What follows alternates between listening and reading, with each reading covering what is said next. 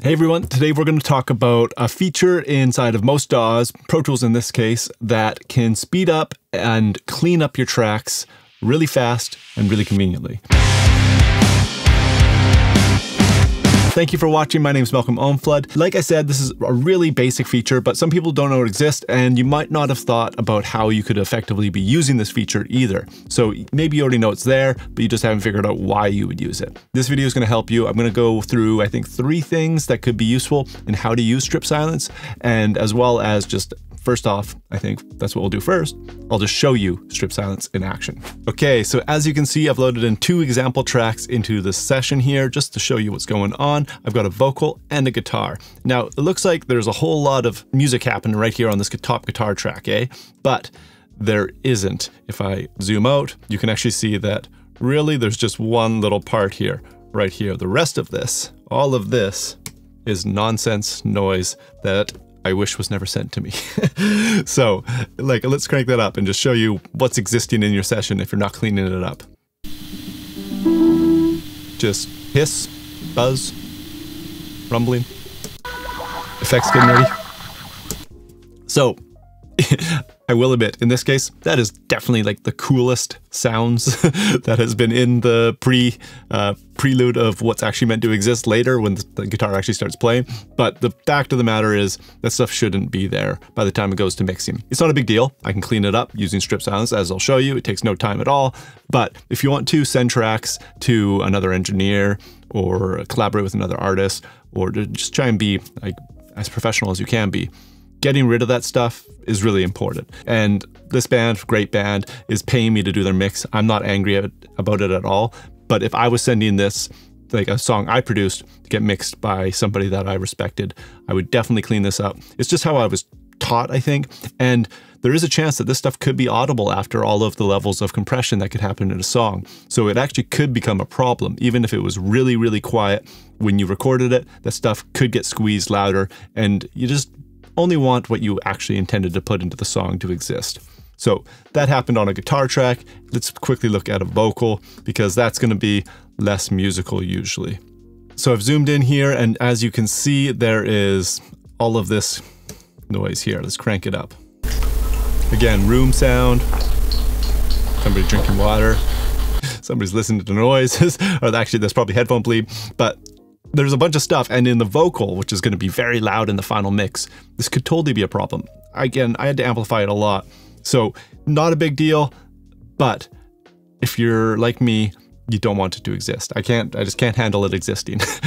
so that is what the problem is. Now strip silence is the solution. So the main benefit of strip silence to me anyways is how I would usually use it is to clean up something like this vocal. So I'll show you how I use strip silence now and we can clean this vocal up really quickly. I've got a shortcut, Command U, that'll bring up strip silence, but if you want to find it yourself and you're in Pro Tools, just go to Edit, and then you will find strip silence down here. Click that, there you go, you got it there, ready to go.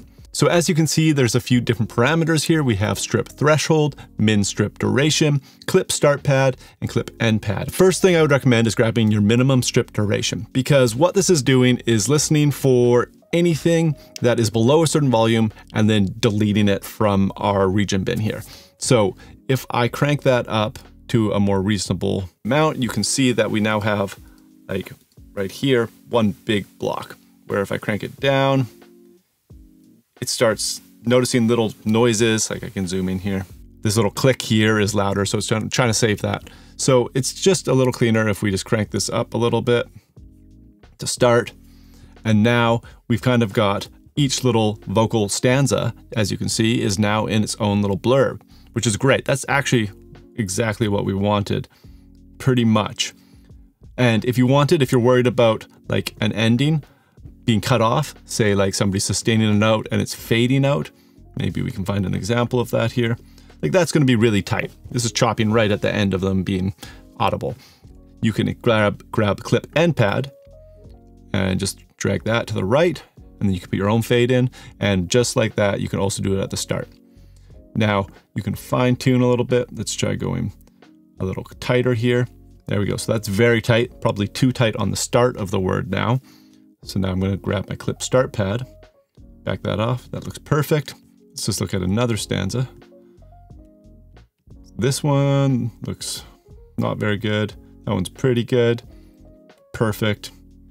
Perfect. I would say that's looking great across the whole track here. We could even go over to the next section, scan that. Might need to go tighter here, singing quieter or recorded quieter, who knows what happened there. But for this first section, we kind of got it nailed in. I would just strip it, and then if you wanted to tighten this up, you could just crank this up a little higher. Bam, strip. Now, all of that work, it's done in two buttons. Amazing. Click over here, let's look at this section. I like to do it in sections. You can probably get really close by just grabbing the whole track, but I recommend just a section. There we go. Let's just zoom in, make sure we can see what's going on. Okay, looks good. We're gonna get just a little tighter. There you go. And it looks like we need to extend our end pad for this section. Every once in a while, you just might have to do something manually. There we go. That looks really good. You start to get a feel for this as well. Strip. Bang. All right, that whole track has been edited. And then we grab the whole thing, strip it again, gets rid of those chunks I missed, and whole vocal is now cleaned up. All of those noises are gone. Same with guitar. If we reset our uh, clip gain on this section, grab the whole thing and set a little minimum strip and just crank the threshold until we only have what we want. We'll have to set a little pad there. Strip, whole track is done. We just have to look at one little blip that I know is noise. There we go. Across a huge session with like 100 tracks, that's going to save you a ton of time. And that is, again, just one way of using strip silence that is like a key benefit. So you can think of it as track cleanup when you are trying to get rid of the tops and tails of your takes and just really make the whole session very clean. Some people do this while they record. You know, somebody finishes a take, they immediately strip silence it and then move on to a new take. So like when they're searching through, it's already done. It's a very efficient, clean way to go.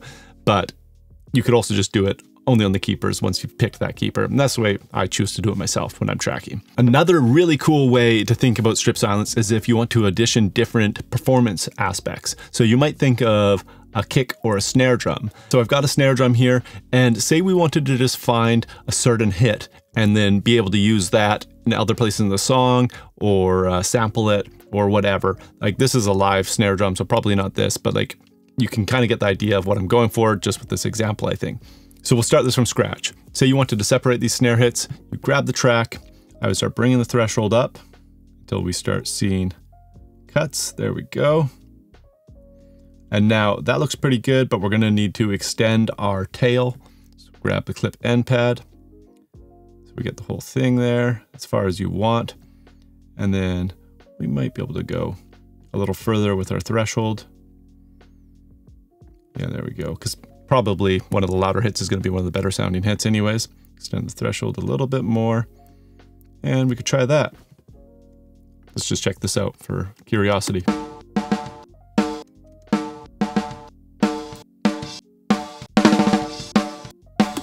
There we go, just the snares. We kind of auto-gated it. Now, you could use that as a gate, wouldn't recommend it. I would do it a different way, but that's another video. But if you want to do audition hits, parts, performances, you could totally do that. Say you had somebody just trying different grooves and they were just kind of like, you know, not recording to a click, you're just letting them roll and you just don't want to interrupt them. And then you have to go grab these different performances. You just strip silence between all of those different takes, drag them together, arrange how you want. Very powerful. So the third and final example I can think of would be a, like a podcast situation or any dialogue, multi-dialogue situation. And I'm sure there's a lot more use cases for strip silence, but these are just three good examples. Say you had three people and one person's talking, that person's bleed is going to be in the other two people's microphones. And you can just use strip silence to clean out each of those three channels for each speaker to only be live, only have dialogue in the session when they're actually talking, not when their co-host or guest is speaking. And it's just way quicker than trying to manually click, chop, and, and go through it that way. You could also use a gate, but if you want the session to be dead silent there, I would personally use strip silence. So very simple concept today. And again, I think this is in every DAW. Next time you're cleaning up the tops and tails of your tracks, try using strip silence. You can just get a shortcut going and make it really, really quick. I think you'll like it. You'll find some way to use it that suits you. If you enjoyed this and want more tips and tricks on engineering, mixing, editing, the whole works, please do subscribe. And if you want a free mixing resource, there is a free workshop down below in the description called Stand Out Mixes that is hosted by Benedikt Hain of the Self Recording Band podcast, which I am a co host of. Check out that podcast if you haven't already. Again, free resource teaches you how to get better mixes using the tools you already own. So, no pressure there, nothing to buy. Just try checking it out. Lots of people have been loving it. I think you will too. And I'll see you in the next video. Bye.